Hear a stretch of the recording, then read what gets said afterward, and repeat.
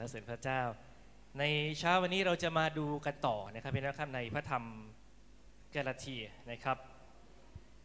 มีใครที่กลับไปอ่านพระธรรมกาลาเทียที่บ้านจบแล้วอย่างน้อยหนึ่งรอบมีไหมครับโอ้ขอบคุณพระเจ้านะครับมีบางท่าน บางท่านนี่คือจะอ่านจบวันนี้ใช่ไหมครับ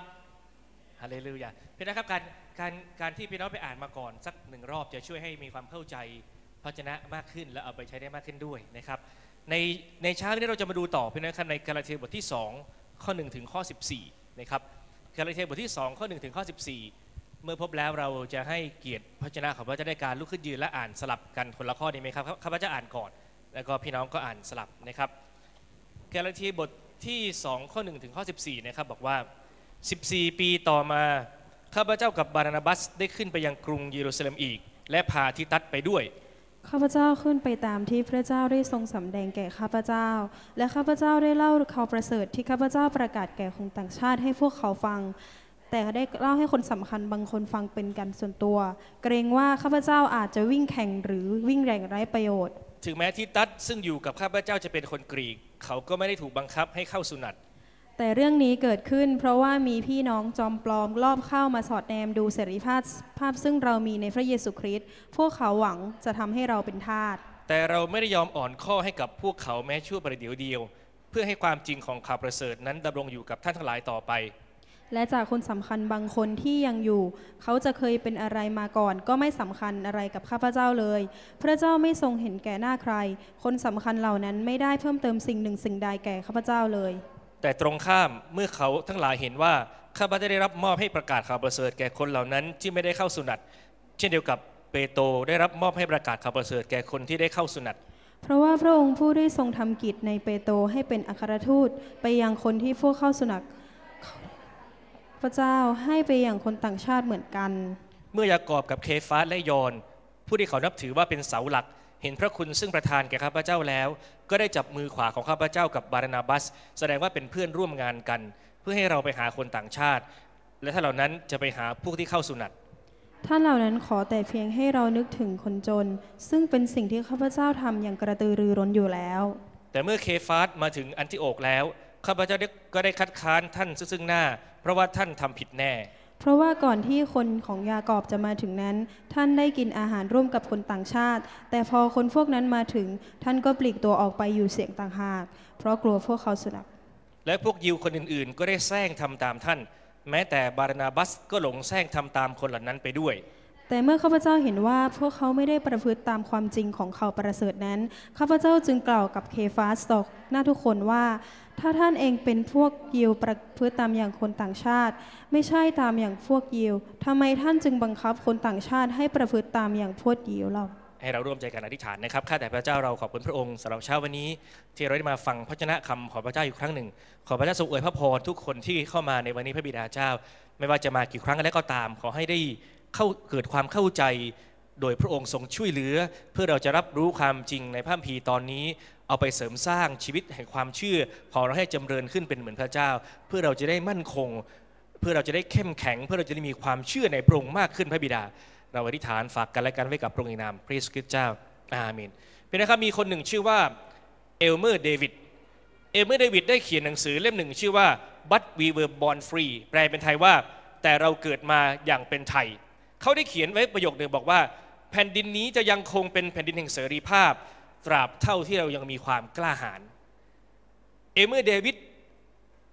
เอาความกล้าหาญกับเสรีภาพเชื่อมไว้ด้วยกันพราตราบใดที่เรายังมีความกล้า เราจะสามารถรักษาเสรีภาพที่เรามีเอาไว้ได้พื่นะครับคำกล่าวนี้ของเอลเมอร์สอดคล้องกับสิ่งที่เปาโล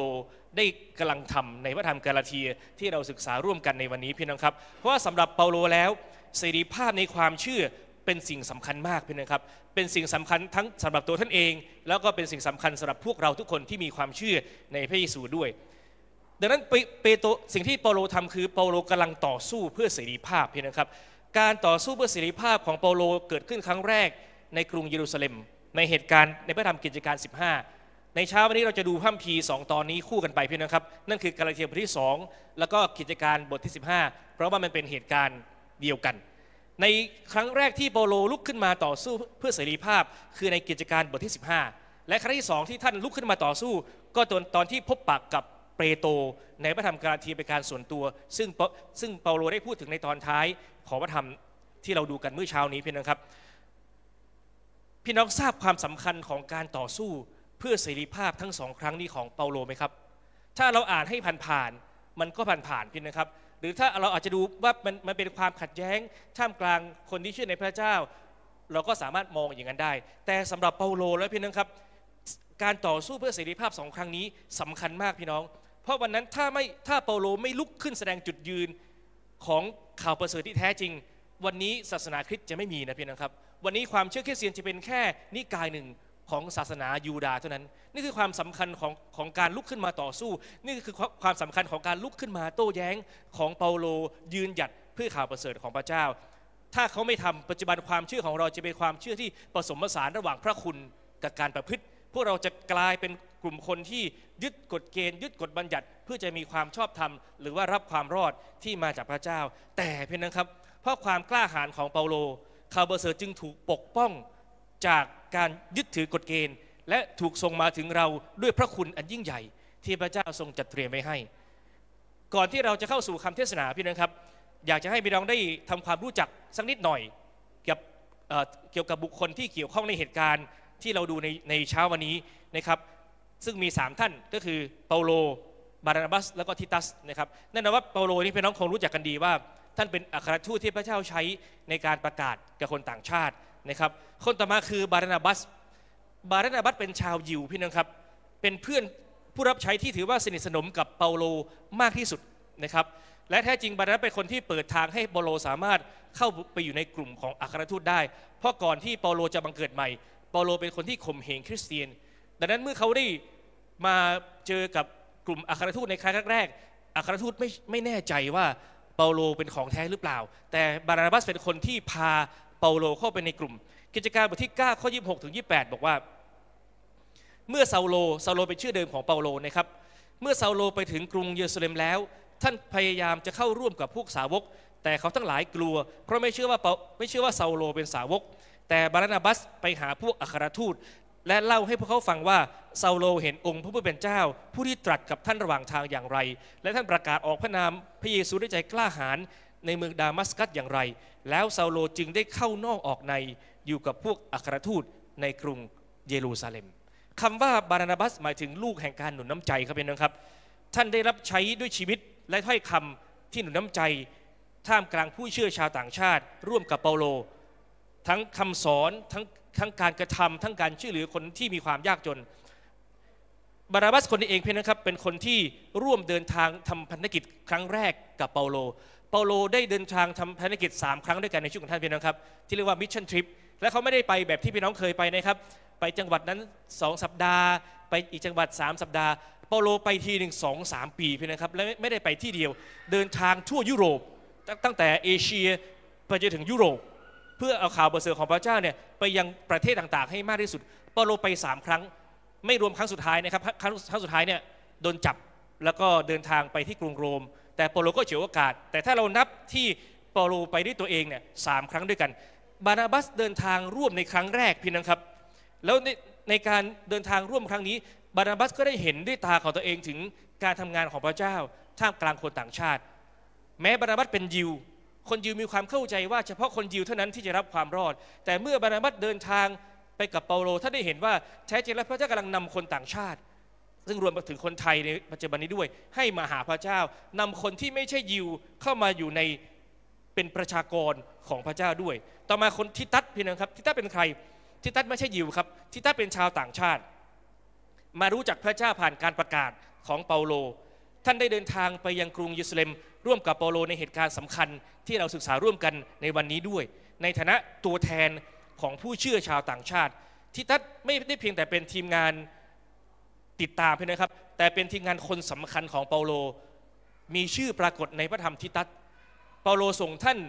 ท่านมีท่านเป็นผู้ที่เติบโตมากจนกระทั่งเปาโลส่งท่านเป็นตัวแทน ในการไปแก้ไขปัญหาเคริสตจักที่เกาะคริสจนเป็นที่มาของพระธรรมทิตัสซึ่งพี่น้องอาจจะมีโอกาสได้ศึกษาต่อไปในอนาคต เปาโล บารานาบัส และทิตัสพี่น้องครับรวมทั้งพี่น้องคนอื่นๆ ที่ไม่ถูกเอ่ยชื่อถึง ได้เดินทางไปพบกับกลุ่มของ อัครทูต ซึ่งมีเปโตรยอนและก็ยากอบน้องของพระเยซูเป็นคนหลักในเวลานั้นพี่น้องอย่าสับสนระหว่างยากอบพี่ชายของยอนกับยากอบน้องของพระเยซูนะครับยากอบที่ถูกกล่าวถึงในกิจการ15 คือยากอบน้องพระเยซู ส่วนยากอบพี่ของยอนนั้นได้ได้ได้เสียชีวิตเพราะความเชื่อไปแล้ว ถูกเฮโรดประหารชีวิตไปแล้วในกิจการบทที่ 12นะครับยากอบน้องพระเยซูคนนี้เองครับเป็นผู้เขียนพระธรรมยากอบที่พี่น้องได้อ่านด้วยกันนะครับ นอกจากสองกลุ่มนี้พี่น้องยังมีใครอีก ยังมีกลุ่มของพี่น้องจอมปลอมที่ที่เปาโลกล่าวถึง คนสามกลุ่มได้เดินทางมาได้มาเจอกันที่กรุงเยรูซาเล็ม เพื่อมาร่วมประชุมแก้ไขปัญหาที่คนเปาโลบอกว่าพี่น้องจอมปลอมเนี่ยได้พยายามปล้นเสรีภาพไปจากผู้ชื่อชาวกาลาทีโดยการพยายามเอาคำสอนผิดคำสอนเท็จมาบังคับให้พี่น้องยึดถือ กิจกาลาเทียบทที่2ข้อ4บอกว่า แต่เรื่องนี้เกิดขึ้นเพราะว่ามีพี่น้องจอมปลอม ลอบเข้ามาสอดแนมดูเสรีภาพ ซึ่งเรามีในพระเยซูคริสต์พวกเขาหวังจะทำให้เราเป็นทาสผู้เชื่อที่เชื่อวางใจในพระเยซูแล้ว กลับถูกพี่น้องจอมปลอมเนี่ยพยายามให้กลับไปเป็นทาสของการประพฤติการปฏิบัติ เพื่อจะมีความชอบธรรมอีก ให้กลับไปเป็นทาสของการชอบธรรมในความพยายามของตนเอง แทนที่จะหวังพึ่งในพระคุณของพระเจ้า พี่น้องจอมปลอมกลุ่มนี้พี่นะครับ เขาได้เดินทางติดตามเปาโลไปทุกที่ที่ท่านตั้งคริสตจักรไม่ได้เป็นแฟนคลับนะพี่นะครับโอ้ไม่ใช่ว่าโอ้นิยมชมชอบอาจารย์เปาโลมาก ตามไปเหมือนแฟนคลับปัจจุบันไม่ใช่ แต่ตามไปทำอะไรเป็นนะครับ ตามไปข่มเหงคริสเตียน ตามไปเผยแพร่คำสอนของตน ซึ่งขัดกับความจริงของพระเจ้า การที่เปาโลเรียกพวกเขาว่าพี่น้องจอมปลอม แสดงให้เห็นว่าเขาไม่ใช่ผู้เชื่อที่แท้จริงเพี่น้องครับ เขาไม่ได้วางใจในข่าวประเสริฐของพระเยซูคริสต์ แต่พวกเขาทำสิ่งต่างๆ เพียงแค่รวบรวมผู้คนให้มาติดตามตัวเอง เพื่อตัวเองจะมีหน้ามีตา เพื่อตัวเองจะได้มีเกียรติ เพื่อตัวเองจะได้มีชื่อเสียง ปัจจุบันคนที่มีพฤติกรรมแบบนี้ก็เยอะเพียงนะครับ สัปดาห์ที่ผ่านมาเนี่ยข้าพเจ้าไปเรียนพระคัมภีร์มาที่กรุงเทพ 5 สัปดาห์ 5 วัน ก็อาจารย์ก็มาจากเยอรมันเพียงนะครับเพียงรู้ไหมตอนนี้ก็มีคนบางกลุ่มเดินทางไปเยอรมัน ไปเผยแพร่คำสอนที่ผิด แล้วก็สร้างปัญหาให้ขี้จักรในเยอรมันเยอะมากพี่น้องครับ พี่น้องรู้ไหมครับ คนเหล่านั้นเป็นคนประเทศอะไร คนไทยครับพี่น้องครับพี่น้องรู้ได้ยังไงครับเนี่ยนะหวังว่าจะไม่ออกไปจากฮิมพูพิงนะไปสร้างความปั่นป่วนวุ่นวาย คนกลุ่มนั้นได้สร้างความวุ่นวายค่อนข้างเยอะในประเทศไทยยังไม่พอเลยนะครับเขาได้เดินทางไปเยอรมันเพื่อไปถ่ายทอดคำสอนผิดต่อที่เยอรมันอีกพี่น้องครับ ขอบคุณพระเจ้าที่ไม่ใช่คนจากฮิมพูพิงฮาเลลูยา แต่พฤติกรรมแบบนี้มีเกิดขึ้นเสมอพี่นะครับ เราจึงจำเป็นจะต้องเข้าใจสิ่งที่เกิดขึ้นในประวัติศาสตร์คริสตจักรรวมถึงตระหนักถึงบทบาทของตัวเราเองว่าวันนี้เราไม่ได้เป็นแค่ผู้เชื่อที่เดินติดตามพระเยซูคริสต์แล้วก็ยิ้มหวาน แต่เราจะต้องเติบโตขึ้นในทางของพระองค์และมีส่วนร่วมกันในการต่อสู้ปกป้องความจริงแห่งข่าวประเสริฐของพระเยซูคริสต์เป็นนักว่าดีไหมครับด้วยเหตุนี้เองเพียงนะครับ เปาโลจึงลุกขึ้น จำเป็นต้องลุกขึ้นปกป้องเสรีภาพที่ผู้เชื่อแท้ได้รับแล้ว โดยทางความเชื่อในพระเยซู ซึ่งพระเจ้าของพระเจ้าก็ต้องการให้เราที่นี่พี่น้อง มีส่วนร่วมในการปกป้องเสรีภาพที่เราได้รับจากข่าวประเสริฐด้วยเช่นเดียวกันพี่นะครับ เพราะถ้าเราไม่ปกป้องเราจะกลับไปเป็นทาสพี่นะครับ เราจะถูกเราจะถูกหลอกลวงให้กลับไปเป็นทาสของการประพฤติ เราจะถูกหลอกลวงให้ไปเป็นทาสของคำสอนของมนุษย์ ที่ขัดกับพระคัมภีร์ เราจะถูกหลอกลวงให้กลับไปเป็นทาสของของของความรู้สึกต่างๆ ที่แท้จริงแล้วพระเยซูได้ปลดปล่อยเราไปแล้ว โดยพระคุณของพระองค์เราจะต่อสู้เพื่อปกป้องเสรีภาพในความเชื่อของเราได้อย่างไร เพราะฉะนั้นตอนนี้ได้ให้หลักการไว้อย่างน้อย 4 ประการด้วยกันนะครับ จะขอให้หัวข้อคำเทศนาในเช้าวันนี้ว่าต่อสู้เพื่อเสรีภาพครับพี่น้องเป็นคนที่ชอบต่อสู้ไหมครับ อย่าอย่าสู้พระเจ้ากันละกัน อีเมนไหมครับ แต่เราควรจะสู้กับเนื้อหนัง เราควรจะสู้กับความบาป สู้กับสิ่งที่ไม่ถูกต้อง เราจะจะมาดูด้วยกันว่าต่อสู้เพื่อเสรีภาพทำอย่างไรประการที่หนึ่งยืนหยัดในความจริงครับ ยืนหยัดในความจริงอยู่ในประการที่หนึ่งและประการที่สองกระเทบทที่สองข้อหนึ่งข้อสองบอกว่า 14 ปีต่อมาข้าพเจ้ากับบานานาบัสได้ขึ้นไปยังกรุงเยรูซาเล็มอีก และพาทิตัสไปด้วยข้าพเจ้าขึ้นไปตามที่พระเจ้าได้ทรงสำแดงแก่ข้าพเจ้า และข้าพเจ้าได้เล่าข่าวประเสริฐที่ข้าพเจ้าประกาศแก่คนต่างชาติ ให้พวกเขาฟัง แต่ได้เล่าให้คนสำคัญบางคนฟังเป็นการส่วนตัว เกรงว่าข้าพเจ้าอาจจะวิ่งแข่งหรือวิ่งอย่างไร้ประโยชน์พี่นะครับเปโลบอกว่าหลังจากที่ท่านได้เดินทางไปทำภารกิจประกาศข่าวประเสริฐครั้งแรก ท่านได้เกิดผลอย่างมากพี่นะครับ มีชาวต่างชาติมาเชื่อพระเจ้าเยอะมาก ท่านจึงได้กลับไปยังเมืองอันทิโอกซึ่งเป็นเหมือนฐานของท่าน เพราะว่าอันทิอันทิโอกส่งท่านออกไป ท่านจึงได้กลับไปรายงานพี่น้องว่าโอ้มีคนต่างชาติมาเชื่อพระเจ้าเยอะมาก พระเจ้าเปิดประตูความเชื่อให้คนต่างชาติทำนองนี้ ปรากฏว่าข่าวนี้ได้ยินไปถึงหูของคนที่นิยมยิวพี่น้องครับ ที่อยู่ในกรุงเยรูซาเล็ม ถ้านึกภาพให้ออกก็คือว่าเยรูซาเล็มสมัยก่อนเทียบถ้าเทียบกับกรุงเทพนะครับ อันที่โอกก็อยู่แถวแถวแถวแถวประเทศพม่าที่ท่าขี้เหล็กขึ้นไปสักหน่อยประมาณนั้นพี่น้องครับนั่นคือระยะทางนะถ้าเทียบว่ากรุงเทพเป็นเยรูซาเล็มนะครับ อันที่โอกก็คือ เป็นเมืองที่ที่ที่อยู่ติดกับอิสราเอลทางทางทางภาคเหนือแถวๆท่าขี้เหล็ก ถ้าพี่น้องเคยไปเชียงรายนะครับ ประมาณนั้นพี่น้องครับ พวกนั้นก็เดินทางจากท่าขี้เหล็กพี่น้องครับ ไปที่กรุงเทพนะเพราะเขาเพราะเขาได้ยินว่าคนต่างชาติมาเชื่อพระเจ้าเยอะมากพี่นะครับโอ้ไม่ใช่ท่าขี้เหล็กเดินทางจากกรุงเทพไปท่าขี้เหล็กอะไรประมาณนี้นะครับ พากันเดินทางไปอันที่โอก เพื่อไปสอนความคิดของตนเองว่าไม่ได้ คนต่างชาติจะมาเชื่อพระเจ้าเปล่าๆไม่ได้ จะต้องมารับธรรมเนียมยิว จะต้องเข้าสุนัตจะต้องเป็นยิวซะก่อนถึงจะเป็นคริสเตียนได้กิจการ 14 ข้อ 27 บอกว่า เมื่อมาถึงอันนี้คือหลังจากที่เดินทางประกาศครั้งแรกนะครับท่านทั้งสองก็เรียกประชุมคริสตจักร และเล่าให้พี่น้องฟังถึงมหากิจทั้งปวง ซึ่งพระเจ้าทรงกระทำร่วมกับท่านทั้งสอง และเล่าถึงการที่พระองค์ทรงเปิดประตูความเชื่อแก่คนต่างชาติ ต่อมาข่าวไปถึงหูคนยิวที่อยู่ในเยรูซาเล็ม กิจการ 15 ข้อหนึ่งบอกว่า มีบางคนลงมาจากแคว้นยูเดียสั่งสอนพี่น้องว่า ถ้าไม่เข้าสุนัตตามจารีตของโมเสสก็จะไม่สามารถได้รับความรอด ดังนั้นพี่น้องครับ คนกลุ่มนี้จึงได้ไปเผชิญหน้ากับเปาโลที่อยู่ที่อันทิโอกในเวลานั้น และได้เกิดการโต้แย้งกันอย่างมากพี่น้องครับ จนในที่สุดคิดจากที่อันทิโอกก็เลยตัดสินใจว่างั้นเราส่งเปาโลกับบารานาบัส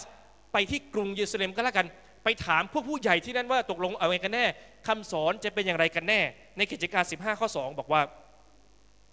เมื่อเกิดการโต้แย้งและถกเถียงกันระหว่างเปาโล และบานาบัส กับคนเหล่านั้นมากมายแล้ว เขาทั้งหลายก็ตั้งเปาโลและบานาบัส กับคนอื่นๆ ให้ขึ้นไปหารือกับบรรดาอัครทูต และบรรดาผู้ปกครองในกรุงเยรูซาเล็ม เกี่ยวกับเรื่องที่เถียงกันนั้น เมื่อกลุ่มของเปาโลเดินทางมาถึงเยรูซาเล็มพี่น้องครับพวกเขาได้ไปพบกับกลุ่มผู้นำคริสตจักร ที่เยรูซาเล็มเป็นการส่วนตัวก่อนเปโลกล่าวว่าท่านไม่ได้เดินทางไปที่นั่น เพราะคิดจักรส่งไปเพี่นะครับ แต่ไปเพราะพระเจ้า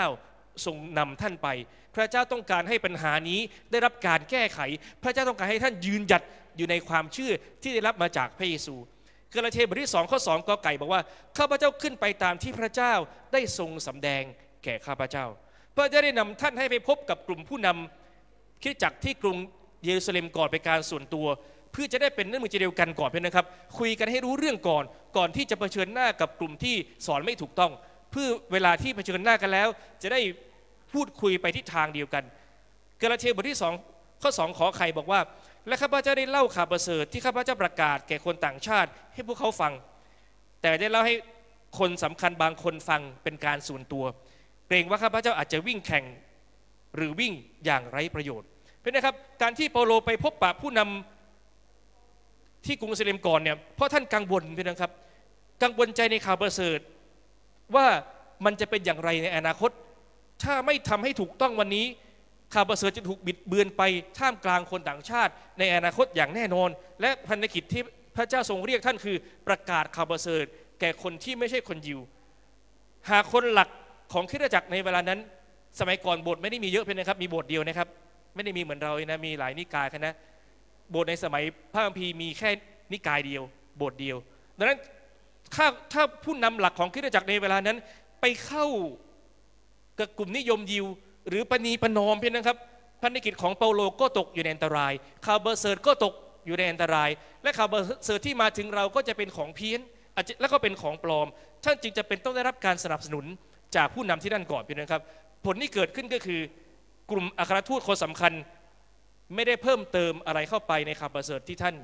ประกาศ แสดงว่ารับรองแล้วว่าสิ่งที่ท่านประกาศนั้นเป็นสิ่งที่ถูกต้อง และยืนยันว่ากลุ่มนิยมยิวสอนผิดกาลาเทียบทที่2ข้อ6ขอไข่บอกว่า คนสำคัญเหล่านั้นไม่ได้เพิ่มเติมสิ่งหนึ่งสิ่งใดให้แก่ข้าพเจ้าเลยเป็นนะครับ นี่คือประการแรกครับของการต่อสู้เพื่อเสรีภาพ นั่นคือการยืนหยัดในความจริง วันนี้พี่น้องเป็นคนที่ ยืนหยัดในความจริงไหมครับ พี่น้องเป็นคนที่กล้ายืนหยัดในความจริงไหมครับ พี่น้องเป็นคนที่รักความจริงหรือรักความเท็จครับ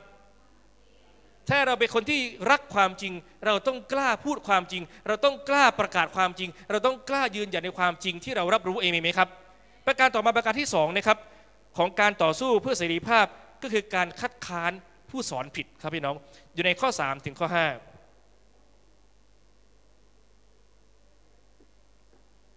กาลาเทียบทที่2ข้อ3ถึง5บอกว่า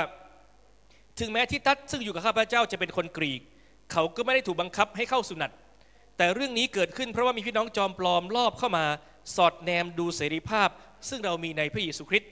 พวกเขาหวังจะทำให้เราเป็นทาสแต่เราไม่ได้ยอมอ่อนข้อให้กับพวกเขาแม้แต่ชั่วประเดี๋ยวเดียว เพื่อให้เขาความจริงของความประเสริฐนั้นดำรงอยู่กับท่านทั้งหลายต่อไปเห็นไหมครับต่อมาเมื่อมีการประชุมร่วม3ฝ่ายเกิดขึ้น ฝ่ายแรกก็คือฝ่ายของอัครทูตหลัก ฝ่ายที่สองคือฝ่ายเปาโล ฝ่ายที่สามก็คือฝ่ายพวกนิยมยิว ได้เกิดการถกเถียงกันอีกรอบหนึ่งเพียงนะครับ เถียงกันที่อันที่อกยังไม่พอนะมาเถียงกันต่อที่เยรูซาเล็ม กลุ่มนิยมยิวก็ยังยืนยันเพียงนะครับว่า คนต่างชาติต้องรับวัฒนธรรมยิวก่อน ต้องเข้าสุนัตต้องมาเป็นยิวก่อน ถึงจะเป็นคริสเตียนได้เปาโลกล่าวว่าท่านไม่ยอมอ่อนข้อแม้แต่ชั่วครู่เพียงนะครับ ไม่มีสักวินาที ที่เปโลจะอ่อนข้อให้แก่คนเหล่านี้ แต่ได้คัดค้านคำสอนของพวกเขาอย่างจริงจัง กิจการ 15 ข้อ 5 บอกว่า แต่มีบางคนในพวกฟาริสีที่มีความเชื่อยืนขึ้นกล่าวว่า เราจำเป็นต้องกำชับให้พวกเขาให้เข้าสุนัตและถือปฏิบัติตามธรรมเนียมของโมเสสกาลาเทีย2ข้อ 5 บอกว่า แต่เราไม่ได้ยอมอ่อนข้อให้กับพวกเขา แม้แต่ชั่วประเดี๋ยวเดียว เพื่อให้ความจริงของข่าวประเสริฐดำรงอยู่กับทั้งหลายต่อไป จุดประสงค์ของเปาโลพี่น้องทราบไหมครับว่าทำไมเปาโลถึงจริงจังขนาดนั้น ในการต่อสู้กับครูสอนผิด จุดประสงค์ก็เพื่อความจริงของข่าวประเสริฐพี่นะครับ เพื่อข่าวประเสริฐจะไม่ผิดเพี้ยนในคริสตจักรของพระเจ้า เพื่อข่าวประเสริฐจะไม่ถูกถ่ายทอดแบบผิดผิดปัจจุบันถ้ามีคำสอนผิดมาถึงพี่น้องพี่น้องสอนต่อไหมครับ ถ้าพี่น้องไม่ระวัง พี่น้องก็เป็นคนที่สอนต่อนะครับ พี่น้องที่เป็นพี่เลี้ยง พี่น้องที่เป็นหัวหน้าแคร์ พี่น้องที่เป็นหัวหน้าหน่วยแม้หรือแม้แต่บางทีเราเป็นสถิบาลถ้าพี่น้องไม่ยืนหยัดอยู่บนความจริง เราจะเป็นอีกคนหนึ่งพี่นะครับ ที่ส่งต่อคำสอนที่ไม่ถูกต้องไปยังคนอื่นๆ แม้ว่าจะตั้งใจหรือไม่ตั้งใจก็ตาม ในประสบการณ์ของข้าพเจ้าในการรับใช้พระเจ้ามา 20 ปีพี่นะครับข้าพเจ้าเห็นมาโดยตลอด หลายครั้งคำสอนผิดออกมาจากปากของผู้ที่กล่าวพระชนะของพระเจ้านะพี่น้องสาเหตุอาจจะมีหลายอย่าง อันที่หนึ่งก็คือ ผู้รับใช้ท่านนั้นไม่ได้ไม่ได้ศึกษาพระคัมภีให้ลึกซึ้งเพียงพอ อันที่สองอาจจะไม่ได้ตระหนักถึงความสำคัญว่าเราไม่ควรจะถ่ายทอดคำสอนที่ผิดต่อ จึงไม่ได้เจาะจงศึกษาลึกซึ้งบางทีอาจจะเชื่อใจในแหล่งที่มาของคำสอนนั้นว่าเออก็ผู้ทำบทเรียนก็หน้าตาน่าเชื่อถือนะดูเขาใส่เสื้อสีน้ำเงินวิบวับยืนอยู่บนเวทีเขาน่าจะน่าเชื่อถือ แล้วก็ไปสอนต่อกันแล้วเราก็ไม่ได้ตรวจสอบอะไร อันนี้พี่น้องจะต้องระวังอย่างมากครับ ทุกคำสอนที่มาถึงมือเรา พี่น้องจะต้องตรวจสอบต่อ เพื่อจะมั่นใจอย่างจริง ๆ ว่ามันไม่ใช่คำสอนที่ผิดเพี้ยน เพื่อคนของพระเจ้าจะไม่รับสิ่งที่ไม่ถูกต้องไปจากปากของเรา พี่น้องว่าดีไหมครับ นี่คือความสำคัญและความจริงจังที่เปาโลทำในช่วงเวลานั้นพี่น้องครับเขาต้องการให้ข่าวความจริงของข่าวประเสริฐไม่เป็นมลทินเลย เพื่อคนที่รับความรอดจะได้รับความรอดอย่างแท้จริง จึงไม่สามารถประนีประนอมได้พี่นะครับ ท่านยืนหยัดจนกระทั่งที่ประชุมหันมารับฟังท่าน ท่านยืนหยัดจนกระทั่งที่ประชุมจะต้องนิ่งลงฟังสิ่งที่ท่านพูด ผ่านการสนับสนุนของเปโตรในกิจการ 15 ข้อ 12 บอกว่า คนทั้งหลายก็นิ่งฟังบาราบัสกับเปาโลเล่าเรื่องหมายสำคัญและการอัศจรรย์ต่างๆ ซึ่งพระเจ้าทรงทำผ่านท่านทั้งสองท่ามกลางพวกต่างชาติ เมื่อที่ประชุมฟังจบเพียงนั้นครับ พระเจ้าได้ให้สิบปัญญากับยากอบ ยากอบจึงสรุปว่า คนต่างชาติไม่จำเป็นจะต้องมาเป็นยิว หรือรับธรรมเนียมของยิวเพื่อจะเป็นคริสเตียน เพราะว่าทั้งคนยิวและคนต่างชาติต่างรับความรอดบนพื้นฐานเดียวกันพี่น้องครับนั่นคือความเชื่อในการสิ้นพระชนและการเป็นขึ้นมาของพระเยซูคริสต์เพื่อเราทั้งหลาย ไม่มีใครที่โดยการประพฤติแล้ว สามารถเป็นผู้ชอบธรรมได้ ทุกคนต้องเชื่อในพระเยซูเท่านั้น สิ่งที่ยากอบขอจากคริสเตียนชาวต่างชาติก็คือ ขอเพียงอย่าไปทำอะไร ที่เป็นที่ขัดเคืองใจแก่คนยิวที่ยังไม่เป็นคริสเตียน เพราะถ้าทำแล้วอาจจะปิดใจคนเหล่านั้น ไม่ให้เปิดใจรับความรอดก็ได้ สิ่งที่ยากอบขอก็คือ อย่าไปเกี่ยวข้องกับรูปเคารพ อย่าไปล่วงประเวณีรับอย่ารับประทานอาหาร อย่ารับประทานสัตว์ที่รัดคอตาย อย่ารับประทานเลือด เพราะว่าคนยิวเหล่านี้ได้ฟังคำสอนเหล่านี้มามากมายแล้ว ถ้าคริสเตียน หลายครั้งมีเสรีภาพในบางเรื่อง เช่น รับประทานเลือดได้ ไปกินต่อหน้าคนยิวที่ยังไม่เชื่อ เขาอาจจะปิดใจไม่รับความรอดจากพระเยซูก็ได้นะครับคีติการ 15 ข้อ 19 ถึง 21 บอกว่า เพราะฉะนั้นตามความเห็นของข้าพเจ้า อย่าให้เราเพิ่มความยุ่งยากแก่คนต่างชาติที่กลับมาหาพระเจ้า แต่ให้เขียนจดหมายถึงพวกเขาว่าให้งดเว้นเสียจากสิ่งที่เป็นมลทินเนื่องด้วยรูปเคารพ จากการล่วงประเวณี จากการกินเนื้อสัตว์ที่ถูกรัดคอตาย และจากการกินเลือด ราะว่าตั้งแต่โบราณมามีบางคนประกาศเรื่องของโมเสสในทุกเมือง และมีการอ่านเรื่องของท่านในธรรมศาลาทุกวันสบาโตเป็นนะครับข้อสรุปของยากอบเป็นสิ่งรับรองว่ากลุ่มผู้นำที่กรุงเยรูซาเล็มนั้นเห็นด้วยกับเปาโลครับ และได้คัดค้านคำสอนของกลุ่มนิยมยิว และเราเรียนรู้อะไรเพียงนะครับ อะไรคือสิ่งที่คริสเตียนในศตวรรษที่ 21 เรียนรู้ สิ่งที่เราต้องเรียนรู้คือความกล้าหาญพี่น้องครับ เราต้องเรียนรู้ถึงความกล้าหาญของเปาโล และการต่อสู้ของท่านเพื่อเสรีภาพในข่าวประเสริฐ ถ้าวันนี้คำสอนผิดมาในคริสตจักร และพวกเราไม่มีความกล้าที่จะลุกขึ้นมาพูด และเราไม่มีความกล้าที่จะลุกเข้ามาบอกว่ามันไม่ถูกต้อง แล้วเราก็สอนสอนไปอย่างนั้นแหละสอนต่อๆไปพี่นะครับ เราก็ไม่สัตย์ซื่อต่อความจริงของพระเจ้า เราต้องมีใจกล้าเหมือนกับเปาโลพี่นะครับ สิ่งที่เปาโลสนใจคือความจริงของข่าวประเสริฐนะพี่นะครับ ไม่ใช่สันติสุขของข่าวประเสริฐ สันติสุขจะมาแน่ แต่ต้องเอาความจริงก่อน พระคัมภีบอกว่าปัญญาจากเบื้องบนนั้นบริสุทธิ์ก่อนเป็นอันดับแรกจึงตามมาด้วยสันติสุข บริสุทธิ์คือแยกไว้เพื่อพระเจ้าไปนะครับ ต้องแยกไว้เพื่อพระเจ้าก่อน ถึงสันติสุขจึงจะตามมาความถูกต้องจะต้องมาก่อน จึงค่อยคาดหวังสันติสุข ดังนั้นถ้าความถ้าความถูกต้องไม่มีมันก็ต้องขัดแย้งก่อน อย่ากลัวความขัดแย้ง ถ้ามีคนสอนผิดเกิดขึ้น อย่ากลัวความขัดแย้ง ขัดแย้งเสร็จ แก้ปัญหาให้เสร็จจึงนำมาซึ่งสันติสุข ยากอบบทที่3ข้อ17 บอกว่า แต่ปัญญาจากเบื้องบนนั้นบริสุทธิ์เป็นประการแรก แล้วจึงเป็นความสงบสุข การผ่อนหนักผ่อนเบา การยอมรับฟัง การเต็มเปี่ยมด้วยความเมตตาและผลดีต่างๆ ไม่มีการลำเอียง ไม่มีการน่าซื่อใจคดดังนั้นพี่น้องครับวันนี้เราควรจะเป็นคนหนึ่งที่กล้ายืนหยัดอยู่ในความจริงของพระเจ้าเองไหมครับ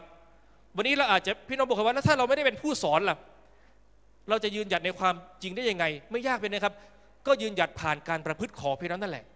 พี่น้องรู้ความจริงจากโบสถ์ไปแล้วกี่ประการ พี่น้องเรียนรู้ความจริงจากเจ้าหน้าของพระเจ้าไปแล้วกี่ประการบางคนอาจจะบอก 50 เรื่องแล้วบางคนบอก 100 เรื่องแล้วคำถามก็คือว่าพี่น้องได้เอาทั้ง 50 เรื่องที่พี่น้องรู้ พี่น้องได้เอาทั้งร้อยเรื่องที่พี่น้องรู้ไปใช้ไหมครับ ถ้าพี่น้องเอาไปใช้ พี่น้องกำลังยืนหยัดอยู่ในความจริง แต่ถ้าพี่น้องเอาแต่เรียนอย่างเดียว ฟังอย่างเดียวเอเมนฮาเลลูยาเรียนเพื่อจะไปสอบพบชแล้วได้เกรดเอแต่ชีวิตจริงติดเอฟพี่น้องก็ไม่ได้ยืนหยัด อยู่ในความจริงของพระเจ้า ไม่แตกต่างพี่นะครับ พี่น้องก็ไม่แตกต่างจากกลุ่มนิยมยิวในเวลานั้น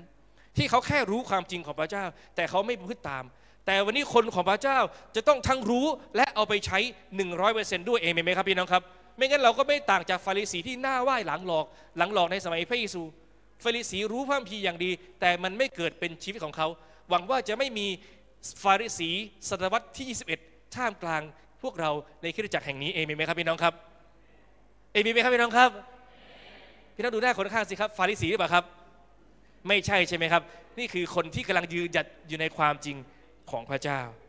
และนี่คือประการที่สองครับของการต่อสู้เพื่อเสรีภาพ นั่นคือคัดค้านผู้สอนผิด ประการต่อมาครับประการที่สามประการที่สามคือร่วมใจประกาศความจริงครับ อยู่ในข้อ 6 ถึงข้อ 10 ร่วมใจประกาศความจริง ต่อมาพี่น้องครับ การที่หลายคนอาจจะมีความสงสัยว่าทำไมเปโลถึงไปไปพบกับผู้นำหลักของคริสตจักรก่อนก่อนที่จะมาพูดคุยกับกลุ่มคนที่คัดค้านเขามันเหมือนไม่ยุติธรรม มันเหมือนไม่แฟร์ มันเหมือนกับเปาโลเนี่ยไปหาเสียงหรือเปล่าอะไรทันมองนี้พี่นะครับ เหตุผลเป็นอย่างนี้พี่นะครับ การที่เปาโลไปพบปะกับกลุ่มผู้นำคนสำคัญของคริสตจักรก่อน ก่อนที่จะมาประชุมใหญ่ ไม่ได้เกิดจากการที่ที่ท่านอยากจะเอาไปโออกเอาใจ หรือไปหาเสียง หรือเล่นการเมืองในโบสถ์ไม่ใช่อย่างนั้นนะพี่นะครับ แต่เป็นเพราะเปาโลให้เกียรติผู้นำเหล่านั้นพี่น้องครับ ให้เกียรติผู้นำเหล่านั้นก็ต้องไปคุยก่อนว่าท่านจะมาคุยเรื่องอะไร แจ้งให้ทราบก่อน ไม่ใช่อยู่ๆก็มาโพร่งท่ามกลางที่ประชุม ไม่บอกไม่กล่าวว่าจะคุยเรื่องอะไรเปาโลไม่ได้เป็นคนอย่างนั้นเพียงนะครับเปาโลคล้ายๆไปแจ้งวาระการประชุมไปนะครับว่าข้าพเจ้ามาที่นี่เพื่อจะพูดเรื่องเหล่านี้โอเคไหมครับไม่ได้ไปล็อบบี้ไม่ได้ไปโน้มน้าวให้คนมาเข้าข้างตัวเอง เพื่อจะได้เพื่อจะได้มีคนยกมือโหวตในที่ประชุม อันนั้นเป็นสิ่งที่คนข้างนอกทำกัน แต่ไม่ใช่วิธีการของคนของพระเจ้าเป็นนะครับ สิ่งที่เปโลต้องการคือการตระหนักถึงพระราชกิจของพระเจ้า ท่ามกลางคนต่างชาติ ต้องการให้ผู้นำคิดจักรในเวลานั้นตระหนักจริง ๆ ว่าพระเจ้ากำลังทำงานท่ามกลางคนต่างชาติ พี่น้องดูสิ่งที่เปโลพูดครับกาลาเทียบทที่สองข้อหกและจากคนสำคัญบางคนที่ยังอยู่ เขาจะเคยเป็นอะไรมาก่อน ก็ไม่สำคัญอะไรอะไรเลยสำหรับข้าพเจ้า เพราะพระเจ้าไม่ทรงเห็นแก่หน้าใคร คนสามัญเหล่านั้นก็ไม่ได้เพิ่มเติมสิ่งหนึ่งสิ่งใด ให้แก่ข้าพเจ้าเลยกาลาเทียสองข้อเก้าเมื่อยากอบกับเคฟาและยอน ผู้ที่เขานับถือว่าเป็นเสาหลัก เห็นพระคุณซึ่งพระเจ้าประทานแก่ข้าพเจ้าแล้ว ก็ได้จับมือของข้าพเจ้า จับมือขวาของข้าพเจ้ากับบาเรนาบัส แสดงว่าเป็นเพื่อนร่วมงานกัน เพื่อให้เราไปหาคนต่างชาติ และท่านเหล่านั้นจะไปหาพวกที่เข้าสนัดนี่คือจุดประสงค์แท้จริงของเปาโลพี่นะครับ คณะผู้นำในกรุงเยรูซาเล็มตระหนักว่า พระเจ้ากำลังใช้เปาโลในการประกาศกับคนต่างชาติ พวกเขาจึงไม่ได้เพิ่มเติม และไม่ได้ตัดสิ่งใดออกจากข่าวประเสริฐที่เปาโลกำลังประกาศอยู่ อีกทั้งยังแสดงตัวว่าเป็นเพื่อนร่วมงานกันเป็นนะครับ จับมือขวาเพื่อแสดงว่าเป็นเพื่อนร่วมงาน แม้ว่าพวกเขาจะรับใช้ในกลุ่มคนที่แตกต่างกัน ผู้นำในกรุงเยรูซาเลมประกาศกับคนยิวเป็นหลัก เปาโลประกาศกับคนต่างชาติเป็นหลัก ดังนั้นเพียงนะครับสิ่งที่เราเรียนรู้คืออะไร เราก็ต้องตระหนักด้วยเช่นกันว่า พระเจ้าใช้เราทุกคนที่นี่แตกต่างกันไปเอเมนไหมครับพี่น้องครับ เรามีหน้าที่ที่จะรับปฏิบัติรับใช้พระเจ้า แตกต่างกันไป สถานที่ที่เราต้องรับใช้ก็แตกต่างกันไป แต่เรายังคงประกาศข่าวประเสริฐเดียวกัน นั่นคือข่าวประเสริฐข่าวประเสริฐที่แสดงถึงพระคุณของพระเจ้าเองไหมครับข่าวประเสริฐที่ประกาศพระคุณของพระเจ้า ไม่ใช่ประกาศการกระทำของมนุษย์ด้วยเหตุนี้จึงไม่มีการแข่งขันกันพี่น้องครับท่ามกลางผู้รับใช้ พี่น้องอย่าแข่งขันกับเพื่อนของเรานะครับ อย่ามีความรู้สึกแข่งขันในกันและกัน สิ่งนี้ไม่ได้ช่วยให้กิจจักรเติบโตขึ้นครับ อย่าอิจฉาถ้าอีกถ้าถ้าคนอื่นสามารถพาคนมาเชื่อพระเจ้าได้ แต่เราทำไม่ได้ อย่าอิจฉาถ้าเห็นบางคนโตกว่าเรา ขอบคุณพระเจ้า สิ่งที่เราควรทำคือเราต้องโตขึ้นด้วย ไม่ควรจะมีความไม่ควรจะมีการแข่งขันแม้แต่ในความรู้สึกของเรา อย่ารู้สึก อย่ารู้สึกบันไหว ถ้าลูกแกะของเราวันหนึ่งเขาอาจจะโตขึ้นมากกว่าเรา เพราะนั่นเป็นแผนการของพระเจ้าและเป็นพระคุณของพระองค์เองไหมครับ ส่วนให้เราต้องจดจ่อคือตัวเราเองว่าเราไปเรามาได้แค่ไหนแล้วในทางของพระเจ้า และเราจะไปมากเท่าไหร่มากกว่านี้ เพราะเมื่อใดก็ตามถ้ามีความรู้สึกของการแข่งขันเกิดขึ้นพี่นะครับ เราจะไม่ใช่ทีมเดียวกัน การแข่งขันมันเกิดจากคนละทีมพี่นะครับ มีไหมคนที่อยู่ทีมฟุตบอลเดียวกัน แข่งขันกันยิงประตูตัวเอง มีไหมครับพี่น้องครับ ไม่มีต้องไปยิงประตูฝ่ายตรงข้าม ราะทีมเดียวกันจะไม่ยิงประตูเดียวกันพี่นะครับ เช่นเดียวกันในคริสตจักรก็ควรแสดงถึงความเป็นน้ำหนึ่งเจเดียวกัน พี่น้องสังเกตได้จากเปโตรครับ แม้ว่าเปโตรจะเป็นผู้นำหลักในคริสตจักรในเวลานั้น และมาก่อนด้วยซ้ำพี่นะครับ เปโตรเนี่ยเชื่อพระเจ้าก่อน ถ้าพูดภาษาของเรา เปโตรเชื่อพระเจ้าก่อน รับบัพติศมาก่อน เป็นผู้นำมาก่อนเปาโลมาทีหลังหมดเลยไหมครับ เชื่อพระเจ้าทีหลัง เป็นผู้นำทีหลัง รับเชื่อพระเจ้าทีหลัง แต่เปโตรก็ถ่อมใจที่จะฟังเปาโลถ่อมใจที่จะรับใช้ร่วมกัน เพราะตระหนักถึงการทรงเรียกของพระเจ้า ที่อยู่ในชีวิตของเพื่อนผู้รับใช้ ไม่ได้มัวแต่คิดว่าโอ้นี่เรามาก่อนต้องเยอะ เปาโลเจ้าพูดอะไรไม่เกรงใจเราเลยอะไรทำนองนี้ไหมนะครับเปาโลเปโตรไม่ได้คิดอย่างนั้น แต่เปโตรตระหนักถึงการทรงเรียกที่มีในชีวิตของแต่ละคน จึงเปิดใจยอมรับใช้ยอมต่อน้ำพระทัยของพระเจ้า เพื่อส่งเสริมให้งานของพระเจ้า เจริญก้าวหน้าไปมากยิ่งขึ้น วันนี้พี่นะครับ เราก็ควรจะเปิดใจด้วยเช่นเดียวกัน คนที่นั่งกับพี่น้องเท่าประชุมนี้ ไม่มีใครเหมือนพี่น้องทุกประการหรอกครับ ทุกคนล้วนมีความแตกต่างไม่มากก็น้อย บางคนแตกต่างด้วยตามของประธาน บางคนแตกต่างด้านการรับใช้ บางคนแตกต่างด้านบุคลิก บุคลิกภาพวิธีคิด หรือว่ารสนิยม แต่เราไม่ควรให้สิ่งเหล่านี้มาเป็นอุปสรรคที่เราจะอยู่ด้วยกันเองไหมครับ เราคิดต่างกันได้ แต่เราต้องใจเดียวกันเราอาจจะทะเลาะกันบ้างเพราะเป็นเรื่องปกติ แต่เราควรจะคืนดีกัน และเราเดินไปข้างหน้าด้วยกันในทางของพระเจ้าเองไหมครับ มีอะไรไม่เข้าใจกันก็ควรจะคุยกัน นี่คือสิ่งที่เราจะต้องทำในคริสตจักรของพระเจ้า ไปด้วยกัน รับใช้ร่วมกันคำถามที่พี่น้องต้องถามตัวเองก็คือว่าวันนี้ ถ้ามีบางท่านมีความคิดว่าเราอาจจะไม่สามารถที่จะรับใช้พี่น้อง รับใช้ร่วมกับพี่น้องในคริสตจักรบางท่านได้คำถามคืออะไรคืออุปสรรคเพียงนะครับ ที่ทำให้พี่น้องไม่สามารถรับใช้หรือไม่ยินดีข้าพเจ้าเชื่อว่า โดยเพระคุณของพระเจ้าพี่น้องจะผ่านไปได้เองไหมครับ และพี่น้องจะโตขึ้น และพี่น้องจะเป็นผู้ใหญ่มากขึ้น และนี่คือประการที่สามครับของการต่อสู้เพื่อเสรีภาพ คือร่วมใจประกาศความจริง ประการสุดท้ายครับ ประการที่สี่ตักเตือนผู้ประนีประนอม ตักเตือนผู้ประนีประนอมอยู่ในข้อ 11 ถึงข้อ 14 ครับ จากที่กล่าวมาพี่น้องครับ แม้จะดูเหมือนว่าการประชุมที่กรุงเยรูซาเลมเนี่ยจะจบลงด้วยดี จบลงด้วยการที่ผู้นำขึ้นจากรและก็เปาโลเป็นไงครับ เห็นพ้องต้องกันและร่วมกันรับใช้ แต่พี่น้องครับ แต่กลุ่มนิยมยิวยังไม่ยอมแพ้พี่น้อง พวกเขายังยืนกรานที่จะต่อต้านงานของเปาโล พวกเขายังยืนกรานที่จะบอกว่าใครก็ตามที่จะมาเป็นคริสเตียน จะต้องเป็นยิวก่อน จะต้องโอนสัญชาติก่อน จะต้องเข้าสุนัตก่อนอะไรทำนองนี้พี่น้องครับ พวกเขาจึงทำด้วยการติดตามเปาโลไปทุกแห่ง เปาโลไปตั้งโบสถ์ที่ไหน เขาก็ตามเปาโลไปเหมือนกับแฟนคลับ แต่ไม่ใช่แฟนคลับในลักษณะนั้น หลังจากเหตุการณ์ในกิจการ 15 เปาโลได้นำคำตัดสินจากกรุงเยรูซาเลมเนี่ยไปเล่าให้พี่น้องชาวต่างชาติฟังไปที่อันทิโอกไปที่ซีเรีย ไปที่ซิลิเซีย และไปยังที่จักรอื่น ๆ ที่ท่านรับใช้ กลุ่มนิยมยิวก็ตามไปเหมือนกันนะครับ โดยที่แรกที่เขาไปคือไปที่อันทิโอก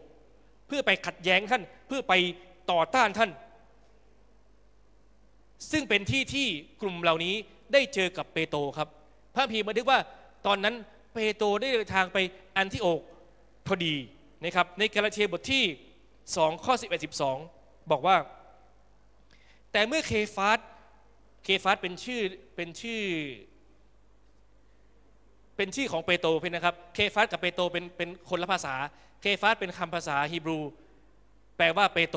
ในภาษากรีก แปลว่าศิลาในภาษาไทย โอเคไหมครับ ดังนั้นเอ่อเพื่อนจะสับสนเคฟาสกับเปโตอันเดียวกัน แต่คนละภาษานะครับ ถ้าเปโตมาอยู่เมืองไทยจะชื่อว่าศิลานะครับศิลาก็ลุกขึ้นยืนอะไรตรงนี้เพื่นนะครับเราเรียกเปโตก็แล้วกันนะครับ แต่เมื่อเคฟาสมาถึงอันทิโอกแล้วข้าพเจ้าก็ได้คัดค้านท่านซึ่งซึ่งหน้า เพราะว่าท่านทำผิดแน่ เพราะว่าก่อนที่คนของยากอบมาถึงนั้น ท่านได้กินอาหารร่วมกับคนต่างชาติ แต่พวกคนพอคนพวกนั้นมาถึงท่านก็ปลีกตัวออกไปอยู่สีต่างหาก เพราะกลัวผู้เข้าสุนัตเพื่อนนะครับหลังอย่างที่บอกพี่น้องไป หลังจากการประชุมที่กรุงเยรูซาเล็มไม่นาน เปโตรได้เดินทางไปที่อันทิโอกครับ น่าจะไปเยี่ยมเพื่อนนะครับเพราะเพราะเปโตรเป็นเป็นผู้นำหลักในเยรูซาเล็ม ก็อยากจะไปดูซิว่าผู้เชื่อที่นั่นเป็นอยู่ยังไงกันบ้างนะครับเดินทางเพื่อไปเยี่ยมที่อันทิโอก สิ่งที่ท่านทำตามมติของที่ประชุมที่สุลมก็คือว่า ท่านไม่ได้ถือตัวอีกต่อไปว่าท่านเป็นยิว ในตอนแรกเลยนะครับ ท่านไปรับประทานอาหารกับคนต่างชาติ ท่านไปกินอยู่กับคนต่างชาติ เพราะท่านมีเสรีภาพในการทำอย่างนั้นแล้ว เพราะคนยิวและคนต่างชาติไม่ได้แตกต่างกันอีกแล้ว โดยพระคุณของพระเจ้า การทานอาหารกับคนต่างชาติสำหรับคนยิวเป็นนะครับ หมายถึงการยอมรับนะครับ ยอมรับยอมรับว่ามีความเท่าเทียมกัน ยอมรับว่าไม่มีใครสูงกว่าใคร ยอมรับว่าเป็นพี่น้องกัน ในครอบครัวของพระเยซูคริสต์ อย่างไรก็ตามเพียงนะครับ ด้วยความที่เปโตรเป็นยิวแบบดั้งเดิม การที่เขาจะเรียนรู้ในการยอมรับคนต่างชาติ ทั้งหัวใจร้อยเปอร์เซ็นต์ก็ต้องใช้เวลาหน่อยนะครับดังนั้นสิ่งที่ตามมาก็คือว่าเมื่อกลุ่มพี่น้องชาวยิว ที่นิยมยิวเดินทางมาถึงเสรีภาพของเปโตรถูกคุกคามเพียงนะครับเสรีภาพของเปโตรที่ตอนแรกไปกินข้าวกับพี่น้องชาวต่างชาติ ถูกคุกคามด้วยความกลัวที่มาครอบงำในหัวใจของท่าน เปเปโตรกลัวเลยทำไงพี่นะครับ ถ้าเป็นภาษาไว้ก็คือเปโตรก็เลยเนียนนะกลัวปุ๊บก็เลยเนียนทำเป็นไม่รู้จักกับคนต่างชาติที่ตัวเองเพิ่งไปกินข้าวมา ไม่รู้ไม่รู้จักข้าไม่รู้ใครอะอะไรตรงนี้พี่นะครับ เพราะกลัวคนยิวที่เดินทางมาจากเยรูซาเล็มจะด่าเอาจะต่อว่าเอาพี่นะครับทำไมเปโตรจึงกลัวพี่นะครับ เราอาจกล่าวได้ว่าท่านเป็นคนที่ถูกกระตุ้นด้วยสิ่งเร้าในชีวิตของท่านได้โดยง่าย เปโตรเป็นคนอย่างนั้นเพียงนะครับ เมื่อครั้งที่เปโตรยังอยู่กับพระเยซู มีครั้งหนึ่งเปโตรขอให้พระเยซูเนี่ยทำให้เขาเดินบนน้ำได้พี่น้องจำได้ไหมเปโตรก็เดินไปพี่น้องครับด้วยความเชื่อพอพอเดินไปกลางทางเป็นไงครับ เกิดกลัวขึ้นมาเลยเป็นไง ก็เลยจมลงไปในน้ำไปเลยครับ อีกเหตุการณ์หนึ่งตอนที่พระเยซูทำนายว่าจะมีคนทอดทิ้งพระองค์เปโตรบอกว่าไง โอ้พระเยซู ต่อให้ทุกคนทิ้งพระองค์ข้าพระองค์ก็จะไม่ทิ้ง ต่อมาโดนพระเยซูโดนจับเกิดอะไรขึ้นไปนะครับ ทุกคนต่างใช้วิชาจักรจันทร์ลอกคาบหนีไปหมดเลยนะครับ รวมทั้งเปโตรด้วย คือทุกคนวิ่งหนีไปนะครับ ไม่มีใครอยู่กับพระเยซูเลย แม้ว่าเปโตรจะแอบตามไปดูใช่ไหมในเหตุการณ์ต่อมา แต่เมื่อมีคนจำได้ว่าเคยอยู่กับพระเยซูเขาบอกไงไม่รู้จักพระเยซูถึงสามครั้งเลยนะครับ เปโตรเป็นคนอย่างนั้น ต่อมาภายหลังหลังจากที่เปโตรได้รับพระวิญญาณบริสุทธิ์แล้วในกิจการบทที่สองซึ่งเหมือนกับพี่น้องที่พี่น้องได้รับแล้ว ในวันนี้เมื่อน้องเมื่อพี่น้องบังเกิดใหม่ เปโตรดีขึ้นเพี่นะครับ เปโตรกลายเป็นคนที่มั่นคงมากขึ้น เป็นคนที่เข้มแข็งมากขึ้น เป็นที่พึ่งของพี่น้องได้ แต่เขาก็ยังมีจุดอ่อนอยู่ดีพี่นะครับ แต่เขาก็ยังไม่สมบูรณ์ เหมือนพวกเราที่นี่ไม่มีใครสมบูรณ์ครับ ซึ่งเราไม่ควรประมาท ไม่มีใครสมบูรณ์ ความกลัวของท่านยังคงอยู่พี่นะครับ ความกลัวของเปาโลยังทำให้ท่านกลายเป็นคนที่ปฏิบัตินอม ไม่ยืนหยัดอยู่บนความจริงของความประเสริฐทำให้กลายเป็นคนที่หน้าไหว้หลังหลอกในเหตุการณ์นี้ ในเหตุนี้พี่นะครับ เปาโลจึงยอมไม่ได้ เปาโลแม้จะมาทีหลัง แต่เปาโลได้ตักเตือนท่านในฐานะเพื่อนผู้รับใช้ เพราะท่านปฏิบัตินอม เพราะเปาโลจำเป็นต้องต่อสู้เพื่อเสรีภาพแห่งความเชื่อที่ในมีในพระเยซูคริสต์เพราะในเหตุการณ์นี้พี่นะครับ ไม่เพียงแต่เปโตรปณีปนอมนะทำตัวหน้าไหว้หลังหลอก แต่ท่านยังพาคนอื่น ให้ทำตัวเหมือนกับท่านด้วย แม้แต่บารานาบัสก็เสแสร้งตามเปโตรไปด้วยพี่นะครับ บารานาบัสอยู่กับใครนะ อยู่กับเปาโลพี่นะครับ แต่เมื่อท่านผู้นำมาจากอิสราเอลเนียนบารานาบัสเลยเป็นไง เนียนตามเลยพี่นะครับพี่นะเข้าใจความรู้สึกของเปาโลมากขึ้นไหมครับเปาโลจะบอกยอมไม่ได้ ไม่ควรจะประนีประนอมในข่าวประเสริฐของพระเจ้ากาลาเทยบทที่2ข้อ 13 14 บอกว่า และพวกคนยิวคนอื่นๆ ก็ได้เสแสร้งทำตามท่าน แม้แต่บารานาบัสก็หลงแซงทำตามคนเหล่านั้นไปด้วย แต่เมื่อข้าพเจ้าเห็นว่าเขาไม่ได้ประพฤติตามความจริงของข่าวประเสริฐนั้น ข้าพเจ้าจึงกล่าวกับเคฟาต่อหน้าทุกคนว่า ถ้าท่านเองซึ่งเป็นชาวยิว ประพฤติตามอย่างคนต่างชาติ ไม่ใช่ทำอย่างพวกยิวทำไมพวกท่านจึงบังคับคนต่างชาติ ให้ประพฤติตามคนยิวเล่าพี่นะครับพี่น้องพอจะเข้าใจอารมณ์ของเปาโลไหมครับเปาโลจริงจังมากในการประพฤติตามพระชนะของพระเจ้าเป็นนะครับ อย่างไรก็ตาม ก่อนที่เราจะไปตราหน้าว่าเปโตรเป็นคนไม่ดีปณีปนอมไม่มีจุดยืน พี่น้องเราต้องกลับมาสำรวจตัวเองในเช้าวันนี้เหมือนกันนะครับว่า เราเป็นคนอย่างนั้นหรือเปล่าครับ เราเป็นคนประนีประนอมหรือไม่ เราได้ประพฤติตามความจริงของพระเจ้า อย่างที่เรารู้หรือไม่พี่น้องครับ อยู่โบสถ์ก็เมเอเมนเอเมนเอเมนอยู่โบสถ์เอเมนตลอดออกไปข้างนอก ยังเอเมนอยู่ไหมครับ หรือเอคิดดูก่อน หรือ A B C D นะหรือข้อดีก็แล้วกันนะอะไรทำนองนี้พี่น้องครับ เราไม่ควรจะประนีประนอมด้วยเช่นเดียวกัน และหลายครั้งเราอาจจะประนีประนมเหมือนกับเปโตรก็ได้พี่นะครับ ถ้าเป็นอย่างนั้นคำถามต่อมาคือ อะไรทำให้พี่น้องประนีปนอมและคำถามต่อมาคือว่า แล้วพี่น้องจะยังประนีประนอมต่อไปหรือไม่หลังจากที่คำเทศนาในเช้าวันนี้แล้ว นี่คือสิ่งที่เราจะต้องมาพิจารณาตัวเองด้วยเช่นกันพี่น้องครับ นอกจากนั้นอะไรอีก นอกจากนั้นเรายังต้องควรทำตามอย่างของเปาโลครับ นั่นคือตักเตือนผู้ที่ไม่ดำเนินชีวิตอยู่ในทางของพระเจ้า เราควรจะตักเตือนกันและกัน ตักเตือนคนที่ดำเนินชีวิตออกนอกความจริงของพระเจ้า เพื่อข่าวประเสริฐของพระเจ้าจะไม่มีมนทินท่ามกลางเราพี่น้องครับเพื่อและเพื่อประโยชน์ของพี่น้องคนนั้นเองด้วย เพื่อเขาจะได้โตขึ้น ตักเตือนกันและกันด้วยความรัก พี่น้องกล้าตักเตือนกันและกันด้วยความรักไหมครับทำไมเบาจังเลยครับ พี่น้องกล้าตักเตือนกันและกันด้วยความรักไหมครับ หรือพี่น้องเป็นอย่างนี้ เอางี้ไหมเรารู้ของนาย นายรู้ของเรา เราเหยียบไปนะ พี่น้องเป็นอย่างนี้หรือเปล่าครับ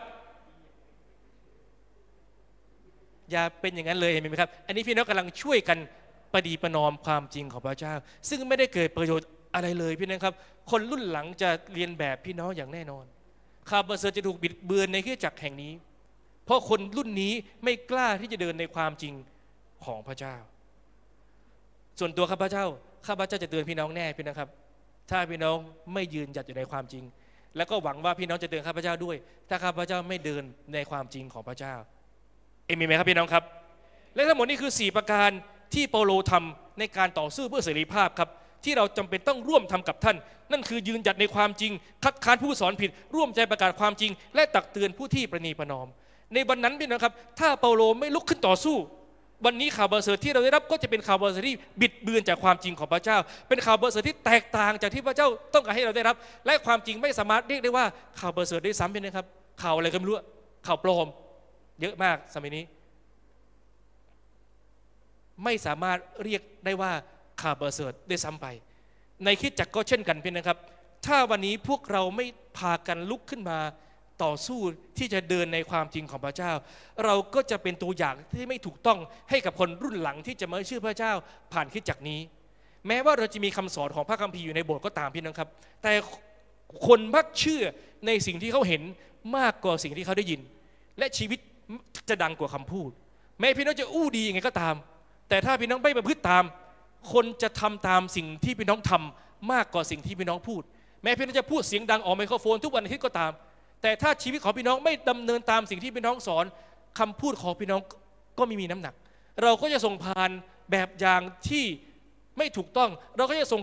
ส่งผ่านแบบอย่างที่ไม่ชอบทำให้วนเวียนเป็นสิ่งที่ขัดกับพระเจ้ากับพระเจ้า อยู่ในคริสตจักรจนกว่าพระเยซูจะมาหวังว่ามันจะไม่เกิดขึ้นในคริสตจักรของเราเอเมนไหมครับพี่น้องครับ วันนี้ชีวิตของพี่น้องดังกว่าคำพูดไหมครับ พี่น้องดูหน้าคนข้างว่าชีวิตเขาดังกว่าคำพูดไหมครับ ดูหน้าตัวเองด้วย ถ้าออกมาจากห้องประชุมนี้ ชีวิตของเรา พี่น้องพูดกับตัวเองนี่ไหมครับ ชีวิตต้องดังกว่าคำพูดดังนั้นวันนี้ให้เราร่วมใจกันต่อสู้เพื่อเสรีภาพในเพื่อคุณของพระเจ้าเองไหมครับพี่น้องครับ ด้วยการไม่ไปประนอม ด้วยการประพฤติตามสิ่งที่สอดคล้องกับความจริง ด้วยการเป็นน้ำน้ำหนึ่งใจเดียวกันในการสื่อสารความจริง ไม่แบ่งแยกกันไม่ความแตกต่าง และในการตักเตือนกันและกันหากมีคนหนึ่งคนใด พลาดพลั้งไปจากความจริงของพระเจ้า เอเมนไหมครับ ให้เราร่วมใจกันอธิษฐานครับ